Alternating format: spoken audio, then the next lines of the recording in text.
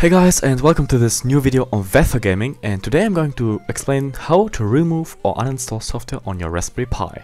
So first of all you need to type in sudo dpkg list and this command pretty much reveals every program that is on your Raspberry Pi and from there on you can pretty much delete every yeah software you want. You just need to look up for the name and for example, in my case, I take the program XRDP, and uh, to delete that, I need to type in uh, sudo apt minus get minus minus purge remove and then the fellow name of your program. In my case, it would be xrdp. And voila, it is deleting this thing. And of course, it's going to ask you for your permission.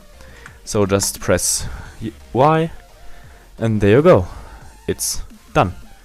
So yeah guys, that's pretty much it for this little tutorial video. If you have any questions, just uh, write them down in the comment section below.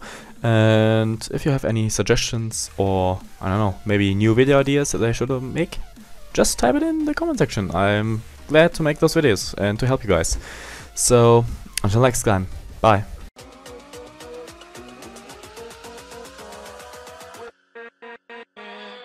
With